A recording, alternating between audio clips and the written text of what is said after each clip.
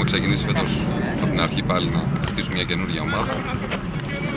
Γνωρίζουν όλος ο κόσμος και ειδικά εμείς στο Πανεπιστήμιο ότι έχουμε αρκετά σημαντικά προβλήματα όσον αφορά οι παιδικές εγκαταστάσεις. Δεν έχουμε το αθλητικό κέντρο που είχαμε πέρσι και αυτό είναι ένα δεσαβαντάζ για τη δουλειά που κάνουμε. Παρ' όλα αυτά προσπαθούμε, έχουμε φτιάξει μια καινούργια ομάδα με νέα παιδιά. Αρκετά είναι και μικρότερης ηλικίας, 98 και 99 και πιστεύω ότι χρόνο με το χρόνο και όσο περνάει ο καιρός θα βελτιώνονται και θα παρουσιάζουν μια εικόνα καλύτερη από αυτή που είδαμε σήμερα. Για το σημερινό παιχνίδι η ΑΕΚ παραδοσιακά είναι μια καλή ομάδα, δουλεύουν σωστά.